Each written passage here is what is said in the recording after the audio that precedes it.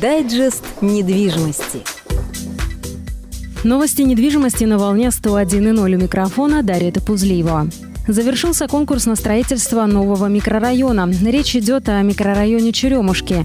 Продажа квартир там в рамках программы «Жилье для российской семьи» по договорам долевого строительства начнется в октябре, сообщает пресс-центр областного правительства. Застройщик Кировская региональная ипотечная корпорация провел конкурс по отбору подрядчика по проектированию и строительству первых трех жилых домов. На первоначальном этапе планируется построить 120 однокомнатных и 120 двухкомнатных квартир.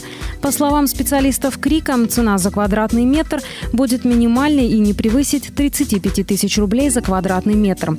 Отделка во всех квартирах будет чистовой.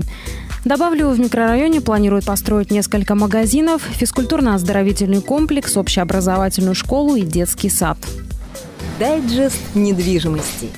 Прокуратура проверит законность действий строительной организации. Сотрудники теруправления по Первомайскому району обследовали тепловой узел, подающий горячую воду и тепловую энергию в дом номер 15В по улице Молодой Гвардии. Поводом для встречи стали жалобы жильцов на длительное отсутствие горячего водоснабжения. Неоднократные обращения граждан в управляющую компанию Ленинского района не привели к положительному результату. Чтобы разобраться в сложившейся ситуации, комиссия обследовала систему горячего водоснабжения. В процессе проверки был выявлен механический разрыв на трубопроводе. Также было установлено, что данный разрыв был намеренно произведен строительной компанией «Укса Витек». Сделали они это для подключения к существующей системе горячего водоснабжения строящегося жилого дома по адресу Молодой гвардии 15.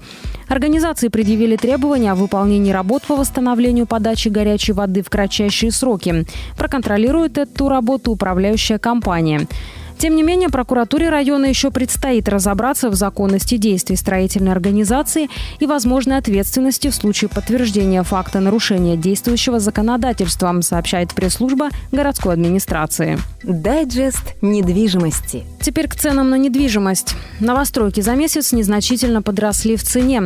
Квадратный метр в июне стоил 44 894 рубля. Это примерно на процент больше, чем в мае. С начала года стоимость квадратного квадратного метра на рынке кировских новостроек возросла почти на 3,5%. На этом все. В студии работала Дарья Топузлиева. Дайджест недвижимости.